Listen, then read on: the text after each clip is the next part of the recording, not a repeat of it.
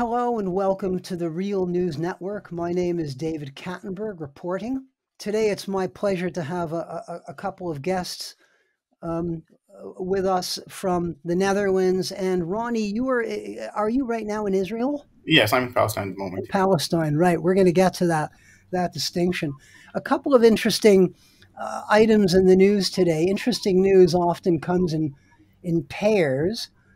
Uh, uh, on the 13th of October, a, a joint letter uh, was published um, by both the Guardian and uh, and an open letter in NBC News, uh, co-signed by or regarding a, a, letter that has been sent to Google and Amazon, uh, signed by uh, roughly 900 Amazon and Google workers calling on the, the two tech giants to cancel their involvement in something called Project Nimbus, which is a $1.2 billion venture that will provide cloud services to the Israeli government and military and to the Israeli Land Authority, the agency that essentially steers Israel's continued expansion of settlements in the in the occupied West Bank in violation of international law. So um, nearly a thousand anonymous signatories at Amazon and more than 600 at Google have joined this call, which is kind of astonishing. Um, at the same time, this week there is a conference taking place in the city of Malmö in Sweden, uh, the International Forum on Holocaust Remembrance and Combating Anti Semitism, attended by Israeli lobbyists and EU officials um, and one of the, the major items in the agenda is discussion of the, uh, the controversial International Holocaust Remembrance Alliance definition of anti Semitism, which critics say uh, uh, muzzles free political expression uh, and, and, and expression of free points of view about the, the, the so called conflict in Israel and Palestine. So, two interesting items of news. Uh, with me to to discuss these uh, are uh, uh, Ronnie Barkan, who is a Jewish Israeli activist and dissident, one of the founding members of a group called Boycott from Within, and one of uh, three individuals who were charged by a Berlin court back in 2020 for disrupting a talk by an Israeli official at Humboldt University in, in Berlin, and they were charged with trespass. And um, various other things, and they were acquitted acquitted in August of 2020. So that's Ronnie Barkan with me, as well as Anne Jong, who's a member of the Faculty of Social, Social and Behavioral Sciences at the University of Amsterdam and the author of a, a paper entitled Zionist Hegemony and the Settler Colonial Conquest of Palestine. And uh, the problem with conflict, a critical genealogy of the notion of binary conflict. Interesting. Uh, Anne de was also um, one of those who participated in the Gaza flotilla in 2010, and she and, and others were uh, stopped in their in their tracks on the high seas and uh, treated rather poorly by the Israeli military. So Anne Jong and and Ronnie Barkan, it is a pleasure to have you both with me here on the Real News. Can I just ask you each in turn to tell me what what your thoughts are on on this the Malmö conference in Sweden, where they're discussing the International Holocaust Remembrance Alliance definition of anti-Semitism, and the fears are that uh, free speech is going to be muzzled. Uh, are you concerned that uh, a gathering of this sort uh, essentially hinders or uh, stands to compromise your ability to speak freely? about the situation in what what I'll call Palestine Israel or Israel Palestine. Ronnie, why don't you begin? Okay, so um, thank you for having me. Um, I think that first of all, I'm not at all concerned about different uh, organizations, uh, governments, etc., uh, trying to um, muzzle freedom of expression. I mean, I'm not personally concerned. I'm concerned about the situation in large. But uh, personally, I think that this is an opportunity for us to tackle these issues because, for example, when in the IHRA definition or the misdefinition, which which turns on its head the whole idea of anti-Semitism. They have basically gone against, by the way, in a way that that goes against even the, the person who initiated, who was initially uh, writing the IHRA, the IHRA definition. This was applied in a way that that person didn't even intend for it to be applied. And the way that they are trying to apply that very problematic definition is in order to conflate a criticism of the criminal apartheid state, the criminal Zionist race state, with Judaism. Now, uh, or with anti-Jewish sentiment. And actually, it couldn't be farther from the truth. I would argue very clearly that there is absolutely no connection whatsoever between Zionism and Judaism, and I can talk much about that. And any conflation whatsoever between the two is in itself anti-Semitic in its very nature. It it implies that those who are Zionists or those who are Jewish uh, let's say in a broad sense, by religion or otherwise, are also necessarily Zionist. And that in itself, to say myself, because I'm somehow regarded as Jewish, I'm also uh, supportive of that criminal uh, supremacist enterprise, that in itself kind of you know amalgamates all Jews into one monolithic group, and it says that we are all uh, criminals and, and barbarians, etc. So that in itself is a very racist uh, approach. Now, every Israeli um, representative says that if you are critical of the um, of the state of Israel, you're also somehow anti-Semitic, and and we have to be very strict with the logic. What what I just said is that if they say that if you're critical of the state of Israel, then you must also be somehow against Jews. It also means exactly what I mentioned before that if you are Jewish because of this or that criteria, you must also be necessarily supporting of that criminal apartheid state. So we have to challenge the entire idea of conflating between the two. Anne Jong, uh, what are your thoughts on, on this conference now taking place in Sweden, where the International Holocaust Remembrance Alliance definition of anti-Semitism is being promulgated and adopted. Is this a threat to free speech in, in places um, like the Netherlands and Germany and elsewhere? Uh, yes and no. Yes, it's a threat to free speech um, uh, in the sense that it stifles debate. It intimidates, particularly uh, young people, uh, young scholars, for example, who are working in the academy and want to speak out about the situation. On the other hand, no, I would say not because the, the war of discourse has been going on for a very long time. And if you are involved, like Ronnie, for example, or like me, for a long time, you also realize that this is actually an opportunity to challenge discourse. Um, the very long paper you mentioned before, and don't worry for people who do not want to read the academic stuff, there's plenty of other stuff uh, uh, more accessible, but really focuses on uh, the war of narratives and discourse uh, surrounding Israel, Palestine, Palestine, Israel. Um, and mostly, what I want to add to the very important distinction that Ronnie uh, laid forward the distinction between Jewish Jews and, on the other hand, Zionism as a political ethno nationalist uh, uh, project. Um, and the other point that I, I think is important to, um, to point out that the uh, while it looks like a stiffening of free speech, it actually challenges the peace and conflict paradigm. The peace and conflict paradigm meaning that there is uh, a conflict between two sides and the desired solution is peace. And while that sounds very innocent, it actually really distorts what's going on on the ground because it distorts that it uh, actually concerns a very unequal power relation.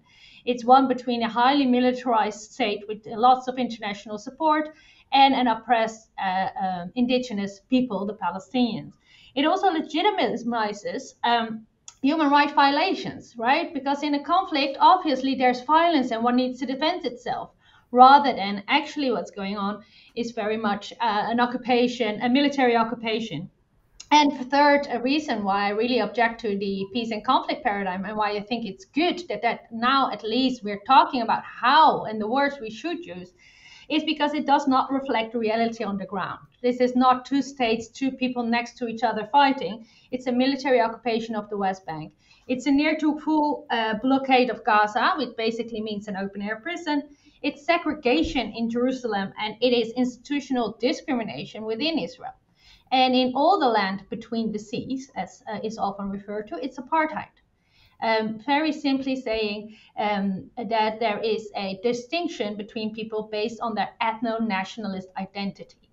But I mean, to I say think, this well, sort of thing. While I think it, the definition is definitely challenging because it would incriminate me as an academic for doing my job and for critically looking at human rights violations. I also think it's important that we at least have the opportunity to counter this and say, hold on, what you're saying is not actually academic or theoretical or reflects reality on the ground. So I um, surely do uh, am worried about definitions like these. On the other hand, I rather see them as an opportunity to discuss the very basics of what's going on in Palestine.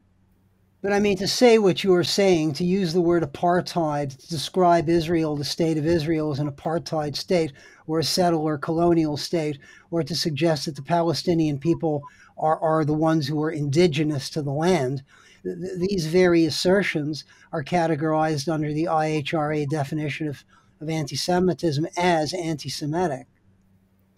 Uh, yes, but it has nothing to do with um, what, what, my entire work is against human rights violation and against all forms of racism and exclusion. And what I'm uh, doing with my work is looking at the basic problem in Palestine Israel. And that is, on the one hand, those who adhere that um, human rights should only count for Jewish Israeli inhabitants of Palestine. And on the other hand, there's people who say, well, human rights should be regardless of one ethno nationalist identity. And if that definition is anti Semitic, I would say that the definition itself is anti Semitic because it claims Judaism for a political entity called Zionist and that is an unfair equation. And it is not an academic equation, it's a very political equation. We should also um, ask actually what brings about this uh, challenging uh, or, or, this def defining and redefining of anti-Semitism, and and that is the, the issue that it is all about trying to silence any and all criticism of that Zionist race state which some people claim to be Jewish. Um, and and even when we talk about the IHRA definition, which is a terrible definition, it doesn't hold water. It is a cyclical, uh, from the legal perspective, it is it is cyclic, it is defined in a cyclic way, etc. But that definition in itself uh, is is not as problematic as the use that they are trying to apply to it and. Uh, following that definition, there is a whole list of examples of how they implement that problematic definition, and the implementation is even far worse than the way they define it. So even if we uh, challenge the definition in itself, this is not the only issue that we have to bear in mind because the whole idea is how they intend to implement it in a very, very convoluted way. And I fully agree with everything that uh, Anne said about uh, how it is being used. Ronnie Barkan and, and Anne de Jong, the European Union and, and its member states, uh, uh, particularly uh, the United Kingdom and France and, and, and Germany included, but the EU at the highest level, declares Israel's uh, settlement enterprise to be flagrantly unlawful and is uh, uh, highly critical of Israeli activities in the occupied territories. And yet, at the same time, the European Union and its member states, most notably, again, uh, Germany, the UK, France, extend, and the European Union extend what seems to be unconditional support to the state of Israel to do what it wants, uh, and actually uh, extend economic aid and assistance uh, and cooperate with, with the Israeli establishment, notwithstanding their, their absolutely categorical position that that Israel's Israel's uh, um, activities and enterprise are are illegal under international law. How do you explain this? How do you explain that on the one hand the European Union is totally categorical about the unlawfulness of Israel's Israel's activities. On the other hand, it extends its support and, and actually seeks to, some would say, criminalize criticism of Israel. How do you explain this kind of uh, contradiction? Anne? Well, I would say that in uh, in the Netherlands, at least, it is based on uh, uh, on on partly historical guilt. I mean, what happened during the Holocaust is horrific, and um, the Dutch state completely uh, worked with uh, uh, Nazi Germany on that. So it's a historic guilt misplaced on the situation in Israel and Palestine. It also has a lot to do with economic interest.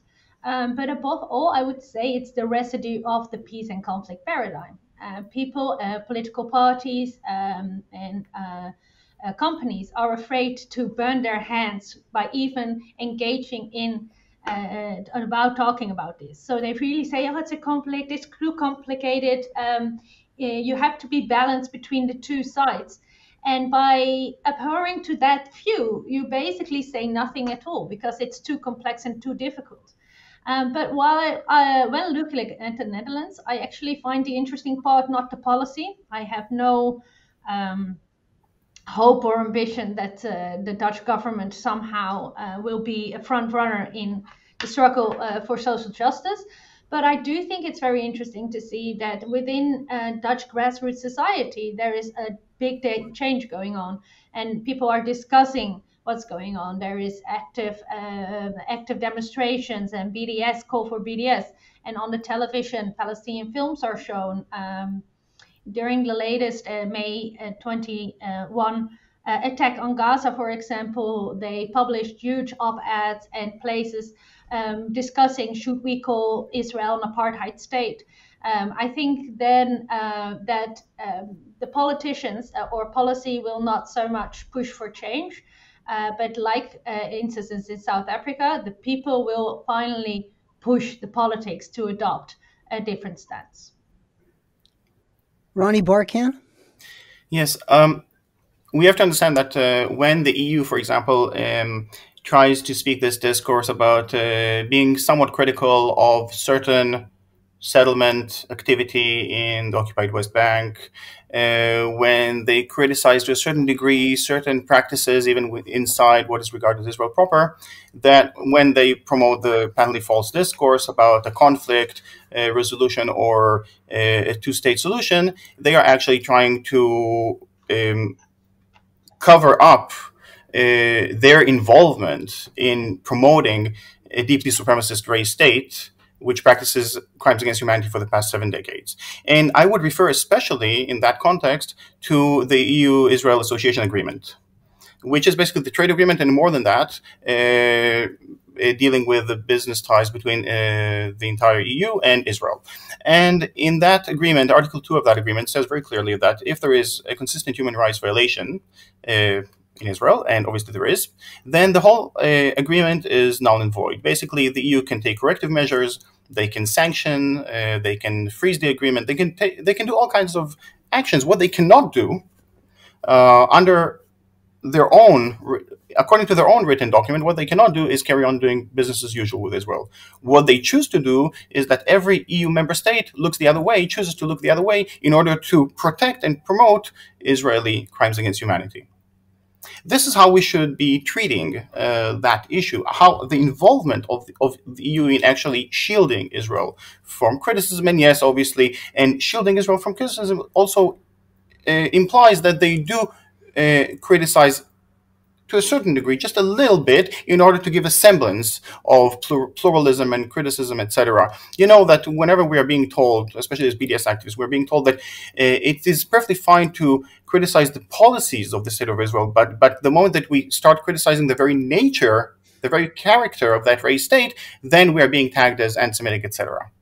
And what I argue is that it is the exact opposite. We should only focus on that criminal and illegitimate uh, to the core character of that state, which is all about uh, white supremacy, uh, uh you know, ethnic uh, supremacy, ethnic racial supremacy, and ethnic domination.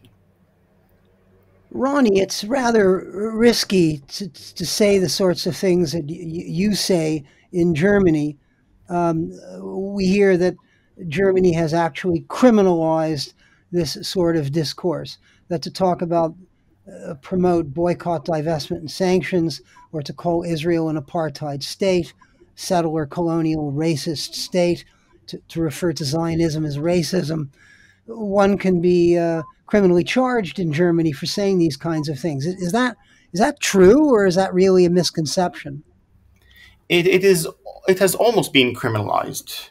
Uh, so basically, for example, uh, quite recently, the Bundestag, the German parliament, uh, passed a resolution uh, saying that criticism, uh, that basically BDS uh, is somehow anti-Semitic. Now that um, that resolution is being referred to all the time, and this was passed by the coalition, by the SPD-CDU coalition. But again, I would stress that whatever I said about the EU, it is far worse with regard to German complicity in Israeli crimes against humanity, because it was actually there was an incident where the entirety of the German Bundestag the, uh, voted about three different resolutions.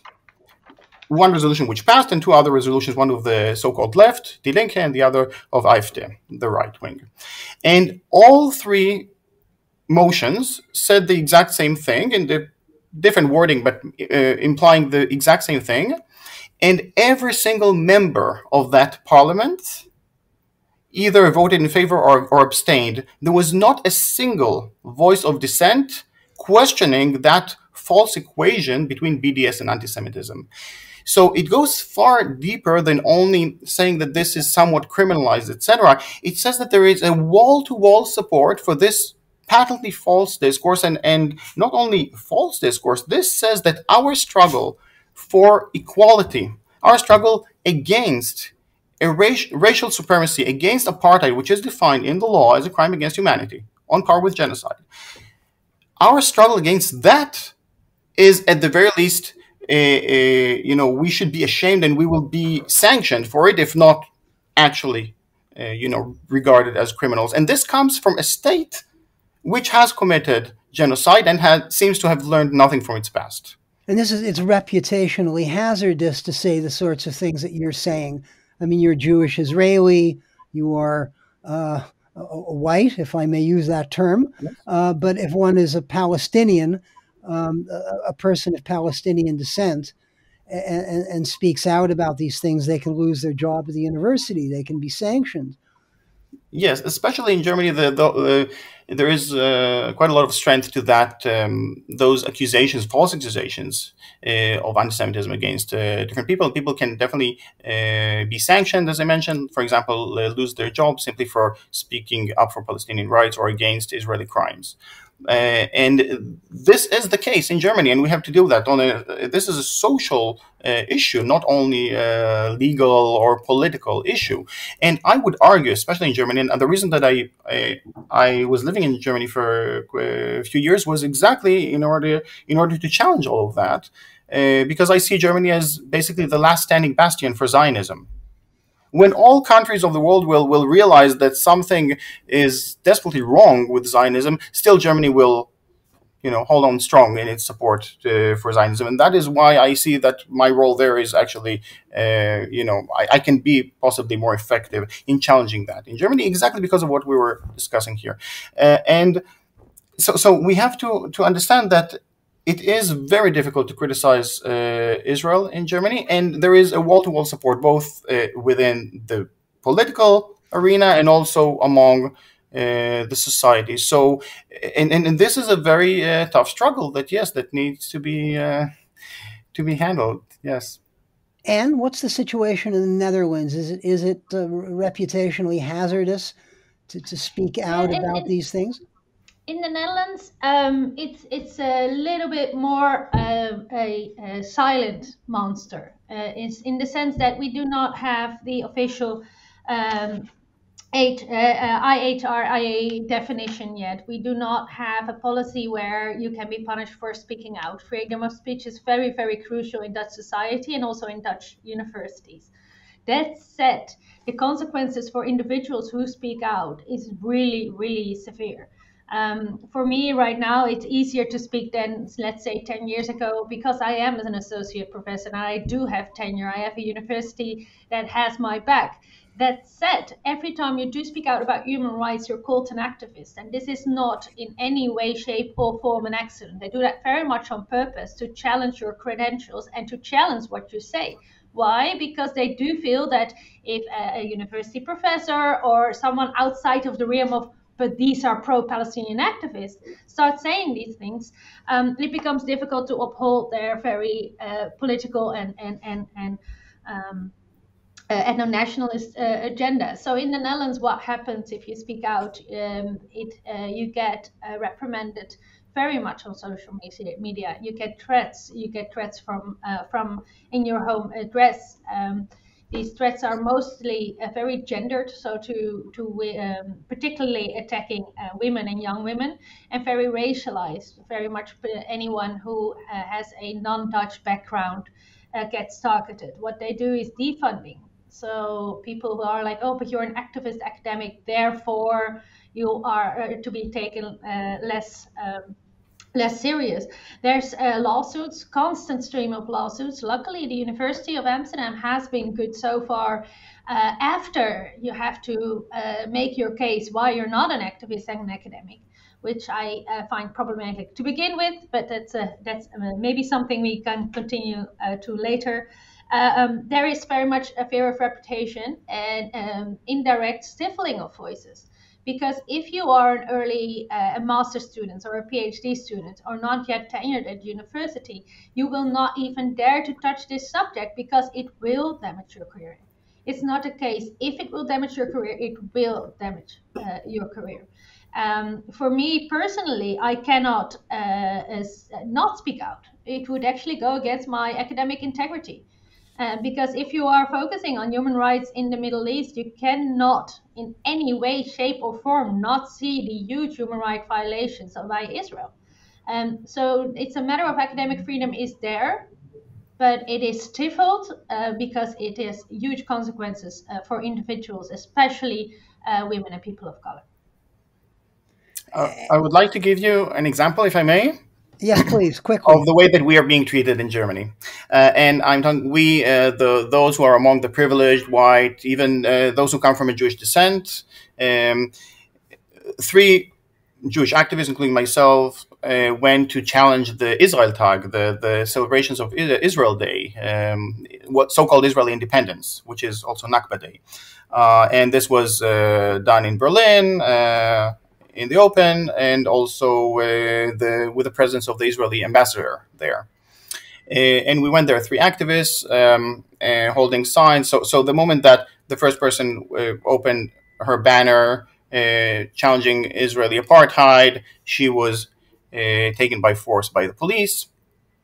Uh, when I was about to pull my sign out, I was actually jumped by uh, German police, gagged twice. I was gagged while being dragged to the ground, etc. Uh, and also later on dragged, uh, gagged again by German police while being in handcuffs. This was all filmed uh, on my camera on Facebook Live. So some people got a chance to get a glimpse of that, but a few minutes later, this was totally removed off Facebook. Uh, and all three of us were detained. I spent, uh, I was uh, kind of arrested for a little while, but and and so so this was totally um, we, we we were totally uh, silenced physically uh, and obviously politically uh, and also every evidence uh, or most of the evidence was basically removed from uh, social media. We managed to find some video actually by uh, another participant a zionist participant who filmed part of that incident and the viewers can go and watch that. I can send a link later a final question, if I can ask each of you to be as, as brief as you can. Uh, do you see winds of change within the European Union and within uh, key states within the European Union vis a vis policy towards Israel and, and the, the so called conflict there and uh, Israel's, Israel's behavior and violation of international law?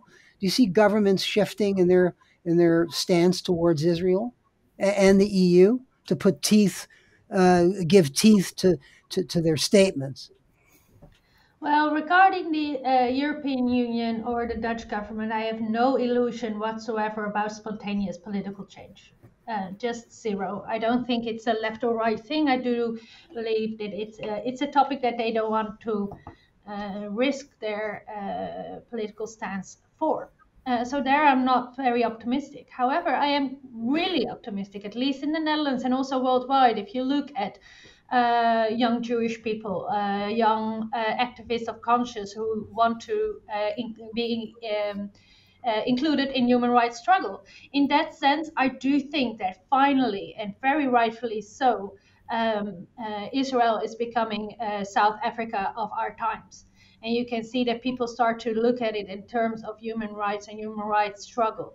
Um, if you look at major uh, social change, for example, uh, uh, abolition of slavery or the um, end of segregation or the end of apartheid in South Africa, it was people power first.